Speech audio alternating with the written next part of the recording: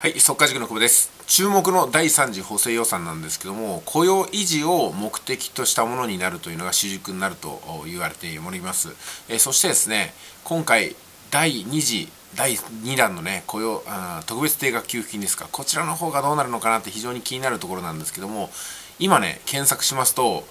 数時間前に表示されていたはずのページが、表示されなくなってるんですよ。ちょっとこれご覧ください。え、ちょっとどうなってるんですかね、これはね。はい、えー、こちらね、第3次補正予算、えー、編成、雇用維持で検索すると、昨日私が見た記事はここに見出しで出てくるんですよ。でもクリックするとね、こうなんですよ。指定された URL 存在しないということで、ね、関連記事を見てみますよ。ここ独自。こちらの方は、やっぱ出てないですね。日本 .com も出てない。で、次、これ。どうだろう。あ、Yahoo ですね。これも出てないですね。で、次、これは MSN です。出てないですね。なんだこれはなんだこの気持ち悪さは。FMN オンラインも出てないと。ライブドアも出てないどういうことなんでしょうか。オリコンも出てません。うーんここはどうだ。出てないです。グーも出てないですね。まあ元記事が一緒ですからね。こうなるのはしょうがないんですけども。うーんここも出てないかな。はい出てませんね。広告になってます。うん。困ったもんだ。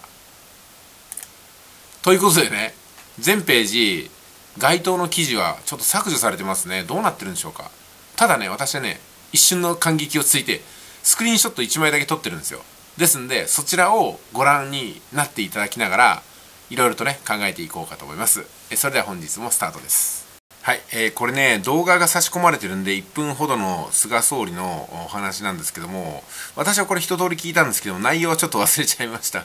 あの、これ再生できないのがちょっと口惜しいんですけどもね、このスクリーンショット1枚が私の手元に残されております。えー、記事読んでみましょうか。菅首相は9日、2020年度の第3次補正予算案の編成を表明する方針であることが分かった。新型コロナウイルスの影響が長引く中、菅総理は、企業の雇用の維持や事業の継続のためには追加の経済対策が必要だと判断し9日夕方の経済,、えー、経済財政諮問会議で2020年度の第3次補正予算案の編成を表明するということでございます。9日夕方ってことなんでもう過ぎてますよね。ですから明日には新聞記事などで出るんではないかなと思うんですが、ただね、これ雇用維持とか企業のうん事業の継続ってことになってますよね。ということは第2弾の定額給付金特別定額給付金についてはちょっとここでは読み取ることができないんで第3次補正予算に盛り込まれないかなというふうに見えますけどもちょっと分かりませんね。この動画再生したところでその話は出てなかったような気がするんで、今のところ、まあ何とも言えないところです。まだまだ私たちのね、働きが足りないってことでしょうね、きっとね。ただ、事業の方は、なんとか持ち直すように呼びかけてくださるそうなんで、もしかしたらね、えー、持続化補助金ですか、うん、ああいう類のものが延長もしくは追加資金が出るのかなって気がするんですけど分かりませんね。さあどうなっていくんでしょうか？これからですね第3次補正予算。そして来年度の予算編成には、うん、まあベーシックインカムとは言わないまでも国民一律給付が少しでも盛り込まれるのかなと思いますよね。この様子でいくとですね、うんまあ、例の感染症の拡大に伴う国民の不安っていうのはね拭いされないと思いますし、まあ、何度も何度もね、うん、その緊急事態宣言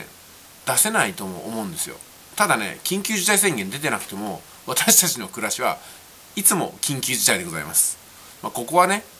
自助努力っていうのも当然忘れていません。ね自分でやらないといけないことも忘れていませんけどもちょっと下駄履かせる意味でね、税金一部返してもらえないかなっていう要求が出るのも無理からぬことだと思います。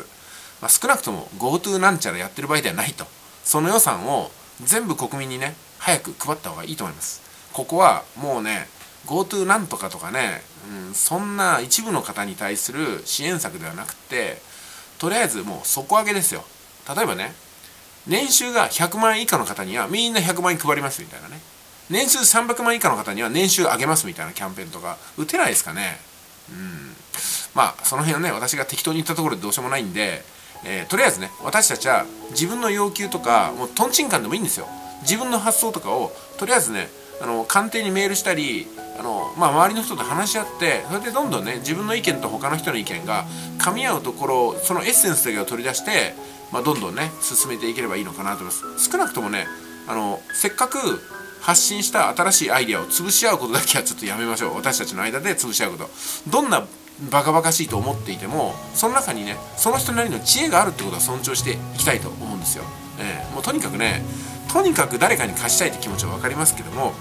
うんまあ足の引っ張り合いというかね潰し合いは、うん、結局はね支配者の思うがツボですございますんで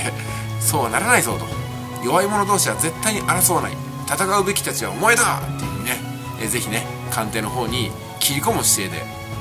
しかも尊重心とね敬意を持って切り込んでいきたいなと思っております。私もねメールの文章だいぶ穏やかになりまして官邸の方にも届けるようになったかと思いますし、まあ、電話もね声を荒げた荒げたこともあったんですけども最近はねそうではなくてね割とね電話の方とね あのまた久保さんですかみたいな感じになってきたのでまあまあ柔らかく伝えれるようにはなってきたかなと。おかげさまで私が電話をかける事務所の方も私の動画チャンネル登録してくださってる例が多いみたいでああまあやってみたらなんかなるなというところでございますね。えー、まあちょっとせこい報告ですいませんけども、うん、まあでもねあのなんかいろんな方に語りかけていくことによって、うん、最初はね対立するべき人だったかなと思った人も実は同じ、うん、痛みや弱みを感じている仲間なんではないかなっていうことも思えるかなというところでございます。うん、まあどうなんですかね。私が取り込まれつつあるのかなという人もいるかもしれませんけどそんなことはねちょっとやめてくださいね。とりあえず私なりに考えてできること、うん、なんかいいアイデアが他にもあればいいんですけど今のところ私の元には届いてないんでとりあえず私のね思った通りに、官邸にメールを中心として各事務所にお電話ぐらいかなと思うんですよね。あと地元地元のね自民党の、あのー、事務所ですか。こちらの方もまあね、散歩がてら皆さんも行かれてみてください。きっとねお話聞いてくださいますよ、うん、全国で似たような話が出てくればきっとそれは本部の方にも自民党本部の方にも行くと思いますんで、まあ何かをやれば何かができるんじゃないですかね。では今回以上です。